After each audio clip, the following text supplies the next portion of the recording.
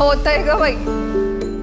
ईशा आमचं शेंडीफळ आज काय ती पेरेंट मीटिंग आहे शाळेत.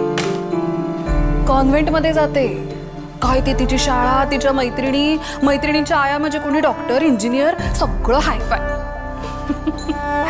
आणि मी ही अशी हाऊसवाईफ म्हणून ती तिच्या बाबांनाच घेऊन जाते शाळेत.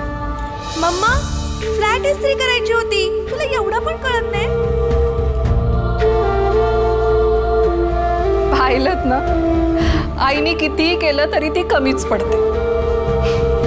शेवटी सगळे काय म्हणतात?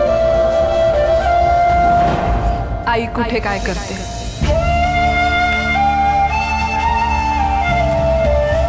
तेवीस डिसेंबर पासून संध्याकाळी साडेसात वाजता